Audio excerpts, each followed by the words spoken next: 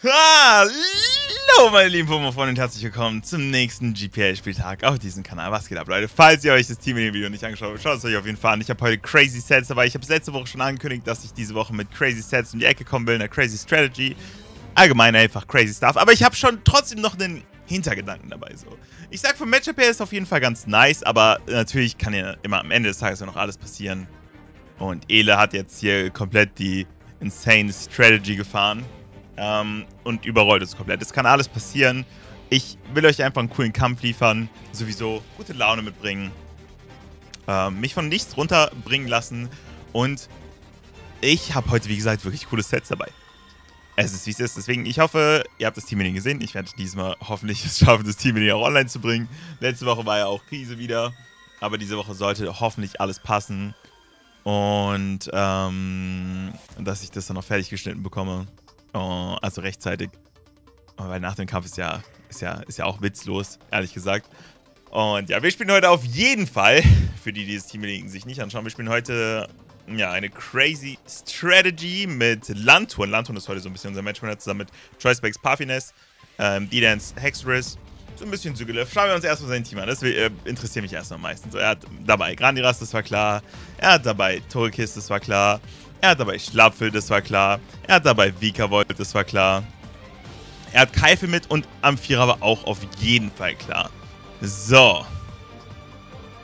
Das sind Mons, die ich so, mit denen ich gerechnet habe und ich sag's, wie es ist. Was ist sein Moonblast Switch-In von Choice Bags Parfines? Ja, klar, er hat äh, Celeste, wovor ich mir so ein bisschen Gedanken machen muss, natürlich. Ja, er hat mich mit und Servo nicht. Er hat Kingler nicht mit, vor dem hatte ich insane Angst. Ich dachte, Kingler bird mich komplett weg, deswegen wollte ich auch mehr so ein Offensiv-Team. Und Mauer hatte nicht mit, was potenziell ein Switch in, in ähm, Dings sein könnte. In Symbolara. Okay, womit möchte ich liegen? Ich habe Optionen. Celazzle macht mir immer noch so ein bisschen Angst und Choiceback Celazzle oder so könnte schon spooky sein. Ähm, da mache ich mir schon ein wenig Gedanken. Aber ich glaube, wir können in der ersten Runde mit Hexerus wahrscheinlich sogar liegen. Entweder Hexerus oder Symbolara. Aber ich glaube, ich möchte tatsächlich mit... Nee, ich glaube, ich liege sogar mit Symbolara. Ich glaube, Symbolara ist hier sogar ganz nice. Symbolara trifft alles ganz gut, sollte auch das meiste wegstecken. Wie gesagt, nur Choice Bags. Celazzle ist ein wenig spooky. Aber wir lieben mit Symbolara und hoffen, dass der hier alles rumreißt. So, ich mache hier die Sounds noch ein bisschen lauter. Ich glaube, Sounds waren gerade ein bisschen leise. Wie gesagt, ähm... Habe ich gerade Choice Bags Ich meine natürlich Celeste. Celeste ist allgemein spooky. Wenn der weg ist, Schmack. Richtig, richtig Schmack. So, er leadet mit Liebenstein. Das ist tatsächlich sein Schlapfel. Ich sag's, es ist. Das ist fein. Ähm, Appleton. G-Max. In der G-Max-Form. Sollte uns eigentlich nicht killen. Killt uns nicht. Und wir machen mit Ice Beam 32 bis 38% Schaden. Klar, er hat äh, Speckschicht und so weiter. Ist natürlich alles so ein Ding. Aber ich kann halt roosten gegen den so, ne? Also, der macht mir jetzt nicht so insane viel Schaden, dass ich sagen würde, yo, vor dem habe ich insane viel Angst. Im Fall der Fälle haben wir auch sowieso immer, ähm, haben wir auch sowieso immer Symbolara, äh, Symbolara, Aromatis in dem wir dann im Nachhinein rausgehen könnten. Sowieso musste ich den für so, musste ich den so für ein, zwei Mons anschippen. Deswegen, wir gehen jetzt erstmal für Eisstrahl und schauen mal an, für was er hier so geht. Machen wir mal hier mal einen ruhigen. Eisstrahl immer noch der beste Move, auch wenn er Spe Speckschicht hat. Speckschicht. Kritisch. Aber wir können ja auf jeden Fall für Eis hingehen. Das ist eigentlich relativ safe. Und wir erfahren dann durch Sachen über sein Set. Wie gesagt, er sollte uns nicht killen können, auch wenn er komplett offensiv ist. Lasst mich das ganz kurz nachkalken. Modest 252. Kann er uns auch nicht killen, selbst mit Max Damage nicht.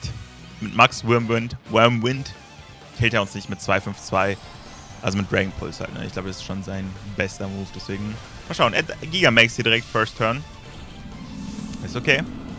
Ist fein. Kann ich ihn freezen mit Ice Beam? Ja, ne? Ich soll ihn freezen können. Let's go, wir freezen ihn einfach. Bin auf jeden Fall für Ice Beam. Und das verrät mir, dass der tatsächlich offensiv ist, kann es sein? Oh nee, das war ein Crit. Ja, meint. Okay, nehme ich tatsächlich. Dünawurm kommt, wie gesagt. Und der macht... Okay, wait. Hast du auch ein Crit? Als fucking ob! Actually echt kacke, weil Simbolara ist insane gegen sein Team. Ach du Scheiße. Ach du heilige Scheiße. Ja, ich denke mal, wir gehen jetzt hier raus in Aromatis. Äh, haben auf Aromatis 36 Speed, solange er kein Speed-Investment spielt. Ist es euer Ernst? Ich meine, der Crit auf ihn mattert, glaube ich, actually gar nicht so sehr, weil... Ja, ne, den muss ich, glaube ich, nicht erklären. Wir gehen wahrscheinlich raus in Aromatis. Ich denke nicht, dass er offensiv ist. Und selbst wenn doch, killt er uns halt in keiner Dimension. Wir können eigentlich relativ safe für Moonblast gehen. Ich möchte aber nochmal ganz kurz kalken, wie viel wir ihm mit Psychokinese machen würden. Ich glaube, ich würde ihn nicht killen, deswegen muss ich halt für Moonblast gehen. Aber er kann natürlich raus ins Celeste gehen, das ist halt eine Option. Aber Moonblast sollte ihn auf jeden Fall safe rausnehmen. Deswegen gehen wir auf Moonblast. Wir sollten schneller sein, wie gesagt. Ich habe 36 Speed, ja, wir sind schneller. Moonblast kommt, Moonblast killt ihn. Damit habe ich immerhin schon mal sein Giga-Pokémon weg. Und das ist was ich meine. Der Crit hat nicht gemattert der Crit auf ihn hat halt nicht gemattert. Und, ähm, und jetzt kann er draußen am Vierer gehen und Druck aufbauen. Das ist halt so ein Ding. Sowohl mit einem Protect-Set als auch mit allem anderen. So, Salazzle ist jetzt extrem spooky. Und ich muss jetzt gleich überlegen, wie ich dem Ganzen so ein bisschen entgegenwirken will. Außer er geht nicht raus in Salazzle, aber das kann ich mir nicht vorstellen. Das kann ich mir nicht vorstellen. Ich meine, muss eigentlich am Schaden jetzt direkt gemerkt haben, okay, der ist Specs. Oh, wenn er Nasty plötzlich spielt, wäre es auch verdammt gruselig. Also verdammt, verdammt gruselig. Ich glaube, ich wüsste, wie ich es handeln könnte. Doch ich weiß, glaube ich, wie ich es handeln kann. Aber ist schon spooky. Okay, na, er geht tatsächlich raus in Vikavolt. Wait. Vikavolt? Hä? Hä? Also ich kill ihn halt nicht, ne? Wenn er 252 HP hat. Kill ich ihn nicht. Ja, ich will mich aber eigentlich auch nicht anchippen lassen. Ich könnte wahrscheinlich raus in Stahlobor gehen und meine Rocks legen. Er könnte... Wird er Sticky Web legen? Will er... Ja, okay, dann gehen wir halt trotzdem raus in Stahlobor. Hä? Stahlobor ist eigentlich safe. Was will ich gegen Stahlobor tun? Stahlobor sehe ich hier auf jeden Fall zu 100%. Wenn er jetzt für Sticky Web geht, kann ich ja für Rapid Spin gehen. Ergibt ja gar keinen Sinn. Er geht für Klebenetz, ist okay. Er hat keinen Geistmon. Nö, hat er nicht. Das heißt, ich kann hier für Turbodreher gehen. Gibt gar keinen Grund, warum ich es nicht tun sollte. Ich bin danach auch schneller als jedes Mon in seinem Team. Okay, er hat auf jeden Fall Sticky Web. Sticky Web darf er nicht rausholen. Äh, die darf er nicht rausholen. Safe nicht. So, er bleibt drin. Wir gehen für Turbodreher. Bisschen Schaden. Und die Sticky Webs sind wieder weg. Er kann nicht weiter für Kleben erzählen. Energy Ball ist okay. Wie macht es? Absolut in Ordnung. Er trägt die Leftovers. Ist okay. Ähm, ich schaue mir mal sein Team an. Er hat Togekiss. Das ist sein potenzieller. Ähm, wir gehen auf jeden Fall für Tarnscheine. Das ist sein potenzieller Defogger. Aber ich weiß nicht, ob er das unbedingt machen will, wenn er seine Webs rausholen will. Nee, ihr wisst schon, wie ich meine. Aber die, wenn wir die Rocks rausbekommen, wäre das so lecker. Das wäre richtig, richtig lecker. Vor allem gegen sein jetziges Team noch. Und ich sag's wie es ist, wenn ich mir jetzt so sein Team anschaue, sobald wir die Rocks draußen bekommen haben und alles auf Lanton rübergepasst haben und Lanton auf plus 2 Speed ist, hat Lanton gewonnen. Hat Lanton safe gewonnen. Deswegen, wir machen einen ruhigen. Wir machen einen ruhigen, ganz entspannt. Energy Ball ist kein Two-Hit. Ich glaube, selbst wenn er jetzt Special Death Drop bekommen hätte, wäre es kein Two-Hit gewesen. Deswegen einmal hier Rapid Spin gönnen. Und jetzt gönnen wir uns hier die Tarnstein. Und wir sind jetzt auch das schnellste Mon auf dem Feld. Es gibt keinen Mon, also er hat keinen Mon in seinem Team, was jetzt schneller sein könnte als ich. Außer er hat jetzt irgendeinen so super weirden Scarfer. Aber ich habe so viel Speed, kann ich mir nicht vorstellen. So, ich gehe für die Rocks. Ganz entspannt. Und er geht für das Klebenetz. Wir gehen weiter für Rapid Spin. Da mache ich gar kein Auge. Da mache ich absolut gar kein Auge. Er hat leider ähm, nur EQ als Angriffsmove und halt Gift-Heap. Ähm, nochmal für Rapid Spin. Wie gesagt, die Sticky Webs dürfen nicht draußen bleiben. Ähm, aber das ist okay. Wir gehen hier für Rapid Spin. Wenn ich jetzt so ein SD-Set hätte, ne? Ich würde halt einfach gewinnen. einfach Real Talk, ich würde einfach gewinnen. So. Ja, und jetzt gehe ich halt für Erdbeben. Wenn er mich rausnimmt, ist es okay. Ich habe meine Rocks rausbekommen. Wir sollten hier für Erdbeben gehen können, ne? Ich habe auf jeden Fall Überbrückung, ne? Ja, safe. Wir gehen hier für Erdbeben. Neutral effektiv und so weiter und so fort. Selbst wenn er jetzt für die Raps nochmal noch mal geht, kann ich danach nochmal Rapid Spin drücken. Und wenn er mich dann Revenge killt, wenn er mich dann rausnimmt, so dann ist ja absolut okay. Dann sind die Raps aber nicht draußen. Das ist halt so das Ding. Ich kann auf jeden Fall safe EQ gehen. Und die Rocks sind draußen. So, Erdbeben kommt. Erdbeben sollte ihn nicht killen, macht aber guten Schaden. Und er geht für Energy, Energy Ball. Er nimmt es raus, ist okay. Ist absolut okay. Absolut fein. So. Jetzt muss ich schauen, mit was ich ihn killen will. Wahrscheinlich mit Maxax. Kann ich mit Max, Maxax D-Dance drücken? Nicht so lange, glaube ich, noch Keifel und so hat. Ich glaube actually, dass Keifel... Wobei, wie viel macht Keifel mit Eisschad? Und wie viel macht er auf mein Hexerus? Hexerus macht er zu viel Schaden. Holy shit. Viel zu viel. Wobei, so, ich glaube, der war ein defensives Set, ne? Aber ich will jetzt auch nicht random D-Dance äh, drücken.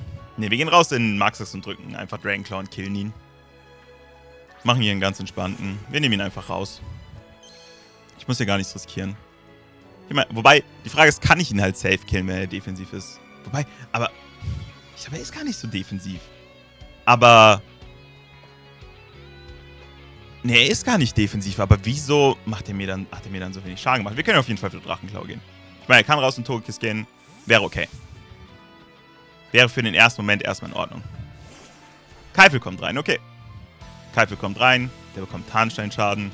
Kriegt jetzt einen Dragonclaw noch reingeböllert. Aber wenn ich jetzt hier für die Dance gegangen wäre, hei, hei, hei. Wie viel macht mir Pillow Swine mit einem Move? Ähm... So, Pillow Swine gegen Hexerus. Icy Crash kann killen, Close Combat killt ihn nicht. Das heißt, wenn ich hier was wagen, nee, lohnt sich nicht irgendwas zu riskieren. Es ist halt so doof, dass ich meinen Sigilif halt so unnötig verloren habe. Aber eigentlich kann ich hier gar nicht so extrem viel machen. Ich meine, ich könnte in Aromatis rausgehen. Aber er ist dann halt schneller als ich, das heißt, er würde dann zwei Moves rausbekommen. Wie schnell ist meine, also wie viel würde Aromatis fressen von Icy von EQ? Schon allein 50%. Das heißt, mein Play ist es hier wahrscheinlich für Nahkampf einfach straight zu gehen. Straight up einfach Nahkampf rein. Vielleicht ist er irgendwie offensiv ausgelegt oder so, wovon ich nicht ausgehe. Wir sehen's, ich gehe nicht davon aus.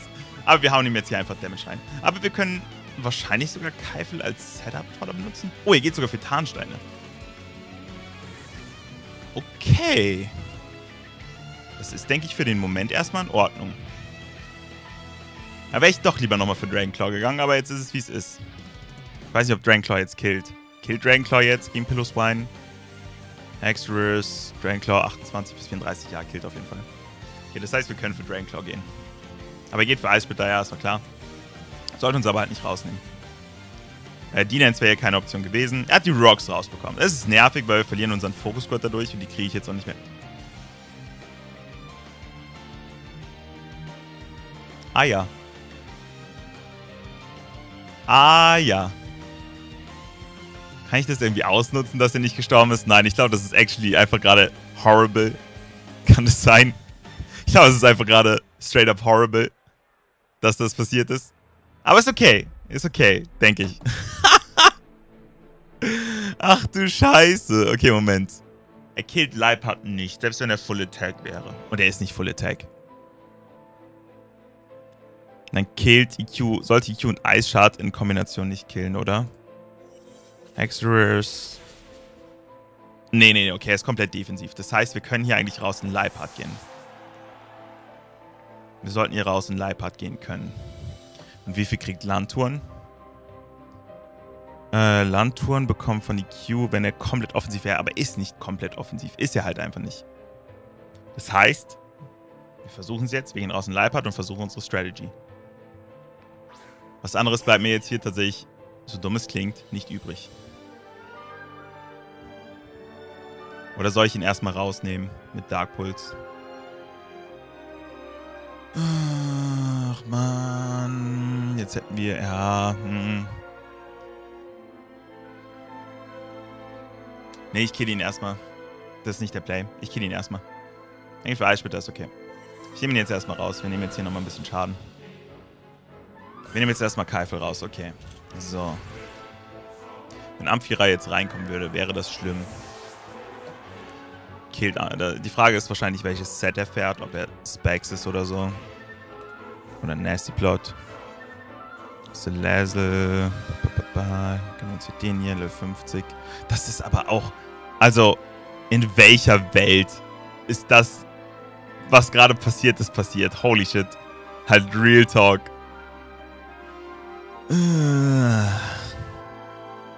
So, ne, Leipard kriegt viel zu viel Schaden gegen Celazel, egal ob er Specs ist oder nicht. Allein nicht Specs, nur Timid macht Flamethrower schon 69 bis 82. Ich glaube, er muss sogar Timid spielen wegen Leipard. Ähm, ich glaube, er kann gar nicht Modest spielen. Ich glaube nicht, dass das eine Option ist. Äh, nöp. Nöp. Er muss eigentlich auch Timid spielen. Also dann wird er 76 bis... Okay, geht raus in Celeste. Okay, okay, okay, okay, okay. So, wie gesagt, die Frage ist halt, ob er gespaxt ist oder nicht.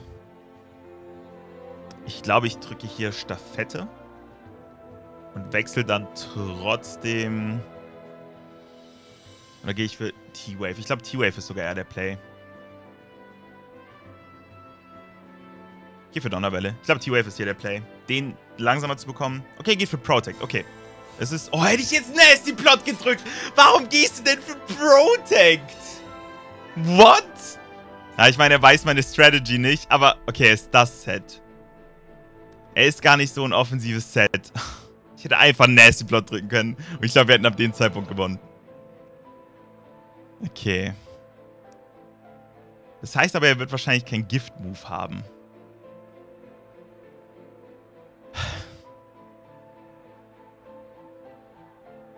Ich gehe für Ränkeschmied.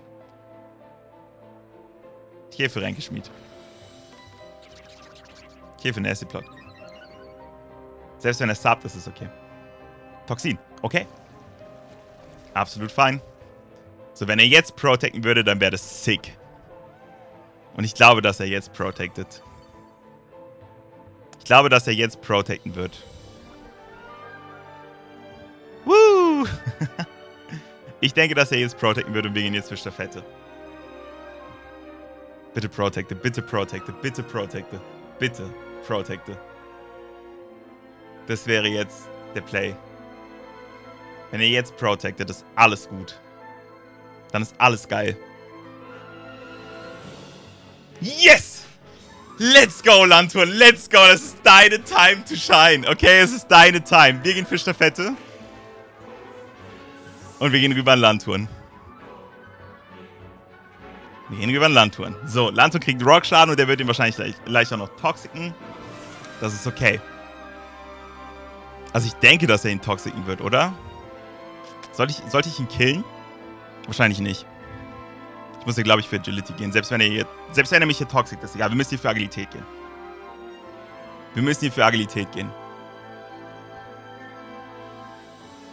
Wir gehen für Agilität. So. So, so, so, so. Lantern ist drin. Wir setzen jetzt hier Agility ein. Sind auf plus 2 Speed, plus 2 Special Attack. Und eigentlich sollte ich dann alles in seinem Team one-shotten. Außer maybe Grandiras, aber scha schauen wir, schauen wir, schauen wir, schauen wir. Es, es kommt halt auf sein ähm, Grandiras-Set an. Ich glaube nicht, dass er ein defensives Set spielt, sonst hätte er das wahrscheinlich schon früher reingeholt. Ähm, aber auch so machen wir dem halt mit Expert Belt viel zu viel Schaden. Viel zu viel, zu viel Schaden. Ja, Icebeam macht 100 bis 118 Prozent, wenn er komplett für Steph ist. Er wechselt sogar raus! Bro, könnte es besser sein? Ich glaube tatsächlich nicht. Er geht, er, er will den hier sacken. Und wir gehen jetzt für Agilität. Und wir sind jetzt auf plus 2 Speed und plus 2 Special Attack. Lantern, es ist dein Moment. Es ist dein Moment. Es ist jetzt dein Moment. Du bist schneller als alles, du bist stärker als alles. Du solltest eigentlich alles in seinem Team jetzt one-shotten können. Wir gehen hier für Surfer. Es gibt nichts in seinem Team, weswegen, gegen das ich nicht Surfer drücken will. So, wir gehen für Surfer. Vika Volt ist tot. Wir sind auf plus 2 Special Attack und auf plus 2 Speed. Ich bin gespannt. Es kann natürlich immer noch alles passieren, aber allein, dass ich bis zu diesem Punkt mit Landtun und Leipart geschafft habe, ist das, was mich gerade so glücklich macht, dass es so funktioniert hat, wie ich mir das vorgestellt habe. Ich hätte nicht gedacht, dass das Mon, von dem ich am meisten Angst habe, dass das tatsächlich der Setup-Vorder für die Strategie wird. Ähm, aber es ist nice. es ist nice. So, wir haben keine Moves, die müssen können. Auch ganz, ganz wichtig. Er könnte noch die Anti-Eisbär haben, aber EQ sollte Lanton halt auch nicht killen. Das ist halt die Sache. EQ killt uns nicht. Außer er ist komplett offensiv. Aber dann sollte Icebeam. Killt dann Icebeam so? Ja, okay, dann killt Icebeam wahrscheinlich. Ja, dann killt EQ aber auch nicht. So. Selbst wenn er Adamant 252 Attack ist, macht er 87,4% und nach Rocks hat er ist kein garantierter One-Hit. So, Togekiss kommt rein. Togekiss kommt rein, bekommt Tarnstein-Schaden. Wir sind auf plus 2 Special Attack und wir können hier für T-Bolt gehen. Wir können für Donnerblitz gehen, ganz entspannt. Wir sind schneller. Wir sind auf plus 2 Special Attack. Und Togekiss ist tot. Funktioniert es wirklich? Funktioniert es wirklich, Leute? Das ist der erste Win. Sogar direkt mit der sicken Strategie, die komplett funktioniert hat mit fucking Landtouren, Alter. Ist Landtouren der MVP mit 4 Kills? Ist Lantun hier der, der das Ding nach Hause holt? Da kommt Grandiras rein. Grandiras potenzieller Sash ist angebrochen. Wir gehen für Eisstrahl. Wir gehen für Eisstrahl. Sind schneller. Sind stärker. Ich weiß gar nicht, warum ich immer sage, dass wir stärker sind. Aber ist halt eben so. Sind stärker. Ich glaube, er hat auch sogar nicht mal einen Gift-Move auf Celesel. Kann es sein? Ich weiß es nicht. Wir gehen auf jeden Fall hier für Eisbeam. Sind schneller nicht gescarft und outspeedet uns auf irgendeine Art und Weise. Icebeam kommt und Icebeam killt. Und ich glaube, damit gewinnt Lanturn das Match hier 13 0 Leute. Let's fucking go. Ich jeden Tag immer noch nicht von dem Abend okay? Er hat immer noch einen Monster stehen. Es könnte auch immer noch Choice Scarf, Bro. Es kann nicht Choice Scarf sein, wir sollten es gewonnen haben. Lanturn holt das Ding hier nach Hause. Wir haben Black Slut schon gesehen. Ich darf ihn nicht vertippen. Wir gehen für Surfer. Und Lanturn holt das Ding 3-0 nach Hause. Leute, jetzt geht's los, okay? Jetzt geht es los. Bam. Geil, ich freue mich. Ich freue mich. Leute, ich hoffe, es hat euch gefallen. Wenn ja, lasst auf jeden Fall gerne eine positive Wertung da. GG nochmal an Ele. Fettes GG. Ähm, ja, wie gesagt, ich hoffe, es hat euch gefallen. Ähm, ja, was soll ich sagen? Leute, er hat einfach... Die Sache ist die, ich meine, ich kann es ihm nicht verübeln. Er hat sich wahrscheinlich gedacht, okay, auf wen pesst er den Shit? Und niemand rechnet halt mit Agilität, Landturn. okay, Leute. Ansonsten, ja, sehen wir uns gleich wahrscheinlich noch beim Recap, wenn ich das Ganze ein bisschen sacken habe lassen. Und dann, ähm, ja, bis gleich. Und damit holen wir uns unseren ersten Win in der GPL. Es hat lange genug gedauert, okay. Und ehrlich gesagt, ich mag diese Endansprachen sehr gerne, aber sie lassen sich irgendwie sehr viel einfacher erzählen, wenn ich verloren habe. Ich weiß, weiß nicht, ob ihr es nachvollziehen könnt. Aber dann ist es einfacher zu sagen, so, yo Leute, ich schaue jetzt einfach weiter nach vorne, etc. pp. Aber jetzt bin ich einfach nur absolut glücklich. Ich finde es cool, dass die interessante Strategie aufgegangen ist. Ähm, und auch, dass die anderen Mons alle relativ viel gemacht haben. Auch das Specs ähm, Aromatest war super wichtig, weil so konnten wir Schlapfel früh rausnehmen. Und Schlapfel war das einzige Pokémon in äh, Elis Team, was gefährlich war für Landtouren. Ähm, und das heißt, mehr oder weniger haben auch diese Sets alle gut funktioniert. Ich habe in Maxax ein bisschen reingechoked, vor allem gegen Keifel. Holy shit, kam ich mir da dumm vor. Tut mir leid, Leute. Aber schlussendlich ist es gekommen, wie es gekommen ist. Wir stehen damit 1-5. Aber ich sage, jetzt geht es weiter nach oben, okay? Vielleicht nicht unbedingt, aber ich werde mir auf jeden Fall weiter Mühe geben. Und mal schauen, wie es nächste Woche gegen Nestflo aussieht. Nächste Woche spielen wir gegen den Flo, der aktuell seinen Höhenflug hat. Und mal schauen, ob wir den vielleicht erbrechen können. Ich weiß nicht, wie er diese Woche gespielt hat. Das werde ich noch rausfinden. Aber wenn er wieder gewonnen hat, vielleicht sind wir dann ähm, ja, die, die, die, die Mauer zu seinem Sieg. Ich hoffe es eigentlich nicht, ich gönne es Flo so sehr. Aber ja, wir wollen natürlich auch gewinnen. Alright, Leute, wie gesagt, ansonsten, ich hoffe es hat euch gefallen und wir sehen uns dann beim nächsten Mal. Macht's gut und ciao, ciao.